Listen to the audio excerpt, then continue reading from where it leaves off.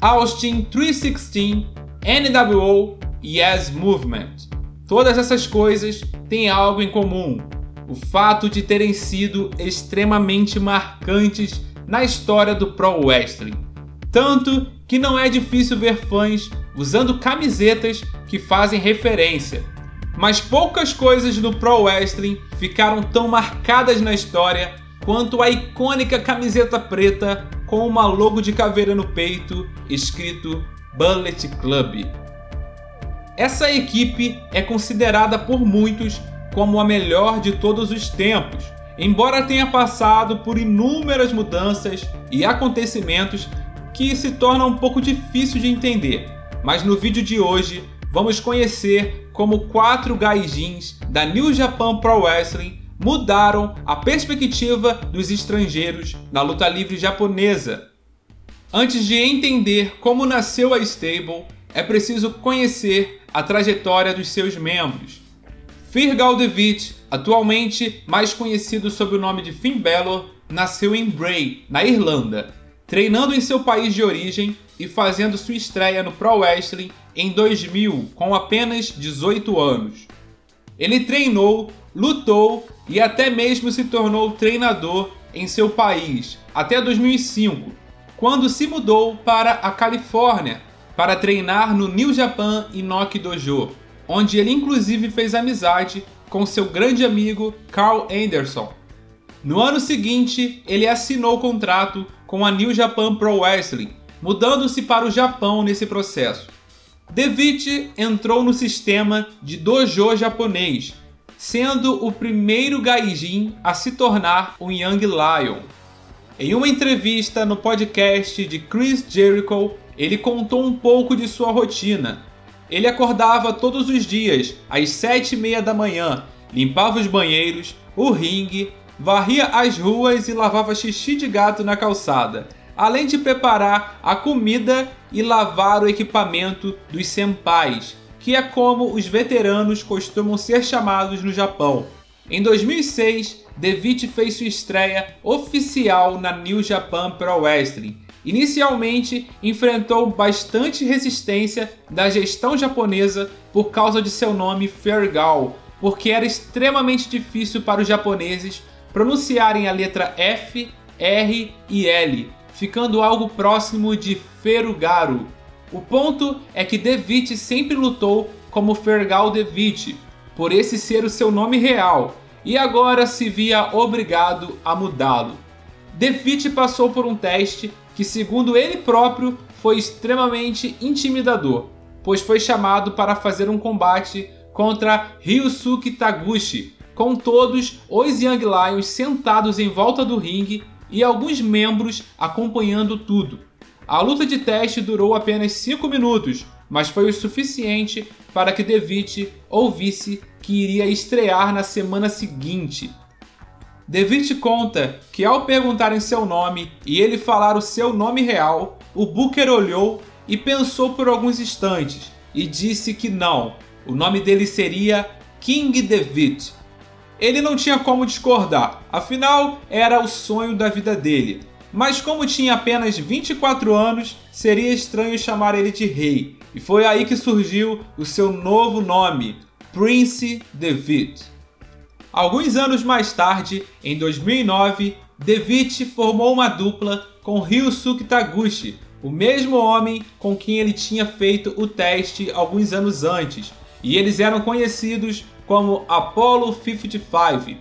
A equipe ganhou o IWGP Junior Heavyweight Tag Team Championship no primeiro ano e continuou marcando a divisão ao longo dos próximos quatro anos, consolidando Devitt como um popular gaijin face para o público japonês, junto da comédia oferecida por Taguchi. Além disso, Devitt também teve um grande sucesso como competidor solo na divisão Júnior da New Japan Pro Wrestling, que seria equivalente à divisão Cruiserweight.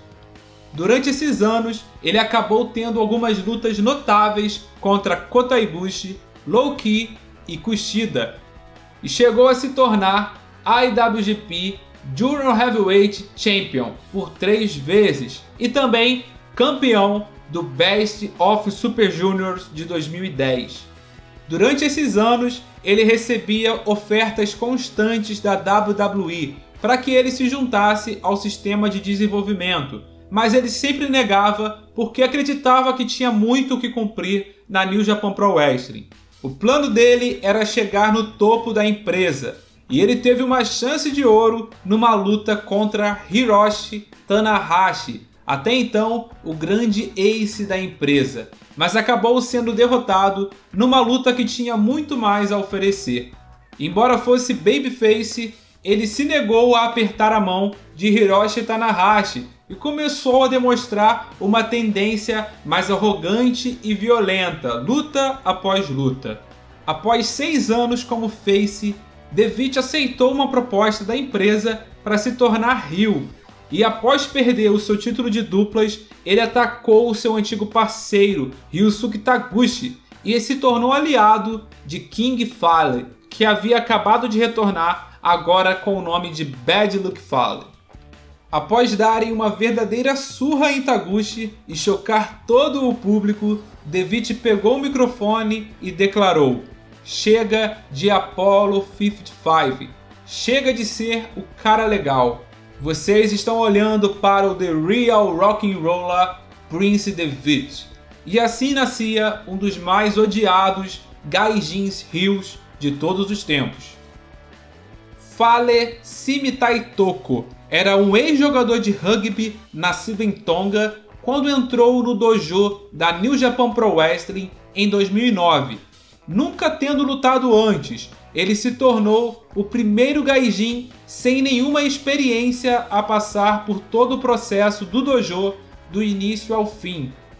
Em uma entrevista ao site da New Japan Pro Wrestling, Fale contou um pouco sobre a sua parceria com Prince Devitt. Ele contou que a ideia era fazer o público perceber que Prince Devitt era uma ameaça para a divisão de heavyweights da empresa. A repercussão do seu heel turn contra Ryusuke Taguchi só mostrou que eles estavam no caminho certo. Fale então se tornou um tipo de manager de Devitt, interferindo em seus combates e ajudando ele a obter reações negativas do público, recebendo então o apelido de The Underboss, Bad Luck Fale. A ideia era que Devitt e Fale seguissem algo semelhante a Shawn Michaels e Diesel, mas então Gedo, Booker da New Japan, teve a ideia de juntar todos os gaijins de uma única vez. Foi aí que Carl Anderson e Tama Tonga se juntaram ao grupo. Cal Anderson lutou por 8 anos antes de assinar contrato com a New Japan, depois de treinar no dojo da Califórnia, onde conheceu Devitt. Ele só foi assinar com a empresa em 2008. Em uma entrevista, Cal Anderson contou um pouco da experiência de treinar no dojo japonês. Ele disse que, assim como Prince Devitt, ficava numa casa velha e nojenta por períodos de 3 meses a 4 meses e treinava todos os dias. Cal Anderson teve muito sucesso na New Japan Pro Wrestling, vencendo a World Tag League e o IWGP Tag Team Championship, junto de Giant Bernard com a dupla Bad Intentions. Em 2012, ele ganhou destaque como competidor solo, chegando a vencer grandes nomes como Shinsuke Nakamura e Hiroshi Tanahashi, e também chegando às finais do torneio G1 Climax. Mas seu personagem não estava causando tanto impacto, e no início de 2013 ele engatou numa sequência de derrotas, perdendo todos os seus combates. Tama Tonga cresceu no mundo do pro wrestling desde sempre.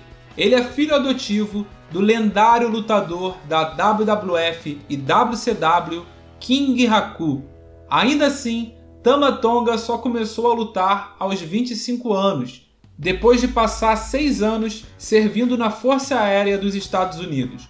Ele então começou a treinar com os Doodle Boys em sua escola, a Team 3D Academy, fazendo sua estreia em 2008 e finalmente encontrando seu caminho para o Japão em 2010 para ser mais um jovem gaijin a se tornar um Young Lion no dojo da New Japan Pro Wrestling e, consequentemente, formar uma amizade com os outros três membros.